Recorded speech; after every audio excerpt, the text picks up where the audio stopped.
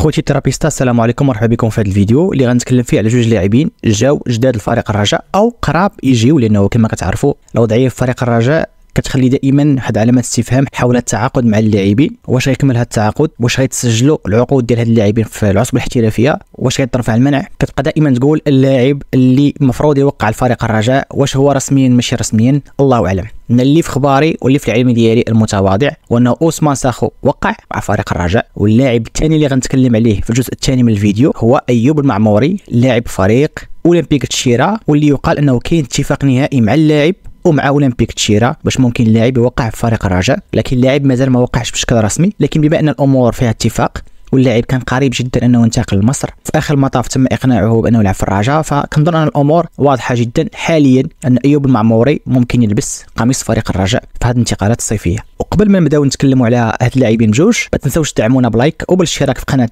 فوتبول ثيرابي إلى مازال غير مشتركين. يلا سيدي على بركة الله. بالنسبة للاعب الأول اللي هو باب أوسمان ساخو اللي جا لفريق الرجاء وقضى أربع أيام تقريبا كفترة معايشة أو اختبار اللي بغينا نقولوا. لأن المسؤولين ديال الرجاء عرفوا بلي الموسم اللي فات أوسمان ساخو عاش يعني سنة مترنحة. يعني السنة اللي قضى النصف الأول ديالها في فريق كيفيلي والنصف الثاني بفريق إيطالي سميتو جيليانوفا كالتشيو اللي كينشط في الدرجة الخامسة في الطاليان واللي ربما ما لعب معاه حتى شي مباراة. فاللاعب أوسمان بابساخو اللي هو دولي سينيغالي غنتكلم على المباريات الدولية ديالو. هو جاي تقريبا من سنة بيضاء لأن أوسمان ساخو لعب فقط ثلاث مباريات مع فريق كيفيلي بال Ligue 2 أو دوري الدرجة الثانية في فرنسا الموسم المنقضي وما لعب ولا مباراة مع فريقه في إيطاليا اللي هو فريق مغمور جدا بالدرجة الخامسة. فلا بغيت نتكلم على بابساخو خصني ناخذ آخر موسم ليه مع فريق سيمبا. وهو آخر موسم تنافسي ليه مع الفريق التنزاني واللي كان نجم من النجوم ديالو واللي كان من أفضل اللاعبين المحليين الموجودين بأفريقيا. وموسم 2022 2023 أي الموسم ما قبل الماضي يعتبر أفضل موسم في المشوار ديال اللاعب السنغالي بابساخو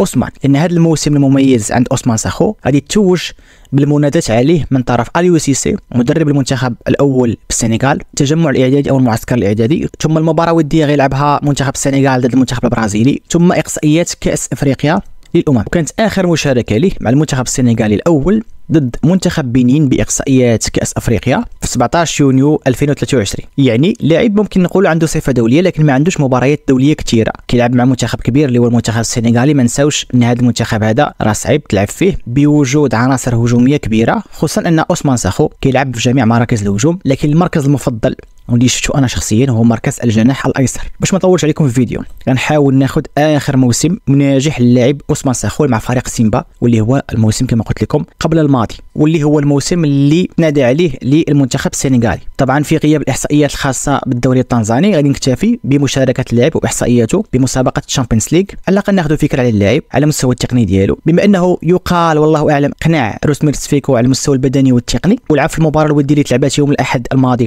اللي عرفت مشاركة اللاعبين الاحتياطيين ضد فريق رشاد البرنوصي وحسب ما وصلني أن اللاعب عطى جوج تمريرات حاسمة. سجل منهم حسين رحيمي لكن المباراة ودية ما كتعني حتى شي حاجة. إلا حاجة واحدة أن اللاعب يمكن أن اللاعب جاهز على المستوى البدني. ممكن يعاون فريق الرجاء في الفترة الحالية. كبديل إن شاء الله. من خلال مشاركة باب أوسمان ساخو في Champions League في الموسم ما قبل الماضي وبالمناسبه كان سيمبا في مجموعة فريق الرجاء كان عنده 78% في التمريرات الصحيحة منهم 88% تمريرات صحيحة في الميدان ديالو و72% تمريرات صحيحة في ميدان الخصم وهذه نسبة صراحة جيدة جدا بالنسبة للاعب كيلعب في الثلث الهجومي. بالنسبة للجناح إحصائيات العرضيات إحصائيات مهمة. في مسابقة ال Champions League الموسم ما قبل الماضي اوسمان ساخو عنده 100% في العرضيات الناجحة. يعني أي عرضية كيديرها كيديرها بشكل جيد. أيضا بالنسبة للجناح خصوصا جناح أيسر أو وسط ميدان هجومي. اوسمان ساخو كان عنده 80% في نسبة المراوغات الناجحة وهي نسبة كبيرة جدا في مسابقة ال Champions League يعني كما تنقولوا لاعب صعيب تحيد ليه كره ونسبة ربح النزالات هي نسبة لا بأس بها بالنسبة للاعب في الثلث الهجومي. 52%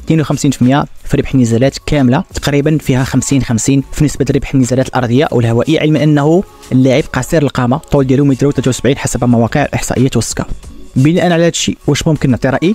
ممكن نعطي رأيي أنه هذا لاعب في الأوج العطاء ديالو قبل سنتين كان لاعب مزيان. دابا الله اعلم علامه استفهام كبيره جدا. ما يمكنش ليا نحكم عليه لاني ما شفتوش وما يمكنش نعرفوا واش جاهز ولا ماشي جاهز لأنني أنا ماشي مدرب فريق الرجاء وما تدربش عندي وماشي أنا المعد البدني ديال الرجاء باش ممكن نحكم على les paramètres physiques ديالو. لكن اللي ممكن نقولوا إنه هذا لاعب في standard ديالو لاعب كما تنقولوا شد la forme ديالو غادي يعاوننا على الأقل على الأقل كبديل. ولو أنني أنا شخصيا كرجاوي مليت من أنني نسمع لاعب أجنبي فقط بديل وجالس في ال banc de touche للاعب آخر. هادشي علاش أنا ما بغيتش نطول في الفيديو؟ هادشي علاش ما بغيتش نتكلم ونسترسل على اللاعب لأن اللاعب رمانه مغمضه دار test حسب اللي وصلني أنه أقنع روسمير تسفيكو أقنع على المستوى البدني شارك في المباراة الودية اللي تلعبات يوم الأحد ضد رشاد البرنوسي وكان فيها مزيان وحاسم حسب اللي وصلني لكن بحالي بحالكم ما عارفش اللاعب كيفاش يكون معنا في حالة تأهيله على مستوى العصبه الاحترافية وفي حالة الشارك مع فريق الرجاء في المباريات ديالو القادمة إن شاء الله. هادشي اللي كاين الخوت.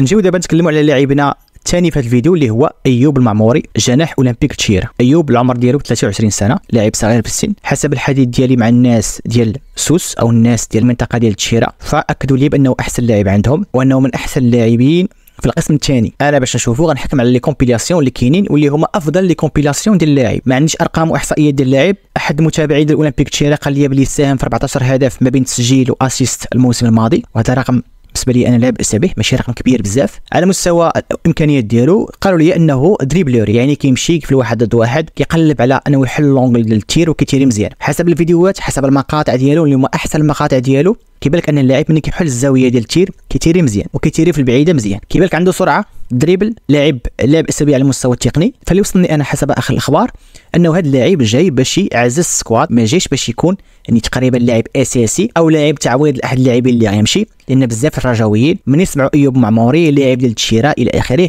وجا في بالهم جناح قالوا باللي أحد اللاعبين الأساسيين غادي يمشي أو جايبينو باش يكون أساسي في الرجاء فهادشي ما كاينش. اللاعب جا باش يعزز ال squad باش يكبر التنافسية في ال squad لأنه ما كانش عندنا بدائل كبيرة على مستوى الأجنحة. دابا إلا اعتبرنا ساخو ومعموري بدلاء إلى ان يثبت العكس فراه عندك واحد الحد أدنى من التنافسية. إلا حيدتي الزرهوني من مركز المهاجم وجبتيه الجناح لأنك غتجيب جوج مهاجمين حسب ما وصلني مسؤولين الرجاء كيقلبوا على مهاجم محلي ومهاجم أجنبي. فراه الزرهوني ربحتيه ك مهاجم ثاني أو كجناح كلاعب طرفي. فبالتالي ولا عندك أطراف فيهم زرهوني فيهم بوزوق فيهم ساخو وفيهم معموري وفيهم حتى آدم النفاتي اللي ممكن يلعب حتى جناح أيمن وأيسر كيلعبها مزيان. ماشي سوبر النفاتي ماشي توب في اليمين لكن مزيان في اليسر ومزيان كصانع ألعاب مزيان كلاعب ديناميكي حركي. فبالتالي غيولي عندك خيارات كثيره باش ممكن تبدل مع أنني نسيت لاعب مهم صراحة.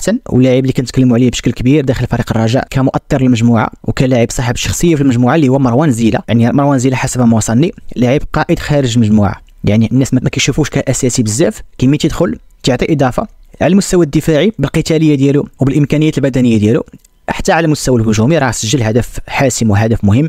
في مسابقة Champions League يعني حتى هو لاعب ممكن نحسبه كلاعب طرفي بالنسبة للبدائل ديالنا على المستوى الهجومي. فبالتالي على مستوى العدد على مستوى الكم ما عندناش مشكل دابا في الأطراف ما عندناش مشكل في الأجنحة. لأن ساخو ممكن يلعب في ليسر ممكن يلعب في اليمين ممكن يلعب صانع ألعاب. نفاتي ممكن يلعب في اليمين ممكن يلعب في ليسر ممكن يلعب صانع ألعاب. زرهوني كذلك. معموري جناح أيسر. الناس في التشير يقول لي أحسن مركز ليه هو الجناح الأيسر. واللاعب زيلا ممكن يلعب في اليمين أو اليسر وأفضل مركز ليه هو انه يشتغل في اليمين وهذو نوعية اللاعبين اللي ما كتكونش عارفهم انت مسبقا ما كتكونش عليهم منافسة كبيرة.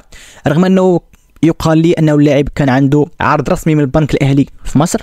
وعرض كبير. لكن اللاعب لما جاء عرض فريق الرجاء تريد شوية. كما تنقولوا انتظر حتى وقع اتفاق بين مسؤولين فريق الرجاء ومسؤولي الشراء باش اللاعب يمشي لفريق الرجاء. نتمنوا ليه التوفيق إلى وقع بشكل رسمي. مازال ما وقعش. المهم في كل الأحوال دابا خدينا فكره على اللاعب أيوب معموري. فين كيلعب؟ المركز ديالو السن ديالو الأرقام ديالو. الله يدير ليه في الخير. وبالتوفيق لفريق الرجاء واللاعبين الجداد ديالو. أيضا بالتوفيق مسؤولين فريق الرجاء لأنه يسابقون الزمن. هما دابا في ماراثون. اولا لإزالة المنع. ثانيا للتعاقد مع لاعبين جداد وعلى ذكر الأخبار ديال الانتقالات فريق الرجاء ما كانش داخل في بوطويل فريق الرجاء استفسر فقط على بوطويل استفسر على طلبات بوطويل ومن بات الطلبات كبيرة بزاف ما دخلش في مفاوضات. ال target الرئيسي ديال فريق الرجاء على مستوى الدفاع هو المدافع اللي كتعرفوه جميعا غدا على أقصى تقدير غنعرفوا المصير ديال هذه الصفقة هذه يا قبول اللاعب لعرض فريق الرجاء يا النظر لخيارات أخرى. والله يدير اللي فيها الخير. كتبوا لي في التعليق ديالكم شنو رأيكم في باب ساخو؟ الناس اللي كيعرفوا والناس اللي تفرجوا فيه مع سيمبا. واش يسترجع مستواه البدني خصوصا والجاهزية ديالو ممكن يعاون فريق الرجاء؟ بالنسبة لأيوب معموري الناس الرجاويين ديال السوس السؤال لكم واش تفرجتوا في هذا اللاعب واش كتعرفوه مزيان؟ علما أنه les compilations كيبينوا أنه لاعب لا باس به والعمر ديالو صغير 23 سنة. واش كتشوفوا أنه قادر يقدم الإضافة لفريق الرجاء؟ في الأخير خوتي تيرابيستا ما تنساوش تدعمونا ب like. وبالاشتراك في قناة Football Thérapie. الا مازال غير مشتركين. تهلاو في راسكم. السلام عليكم. وإلا كنتي من المتابعين الدائمين ديال القناة وبغيتي تدعمنا من أجل الاستمرارية. عندنا الانتساب الشهري واللي هو بثمن رمزي. وأسماء المنتسبين غنحطهم بشكل مباشر في كل بودكاست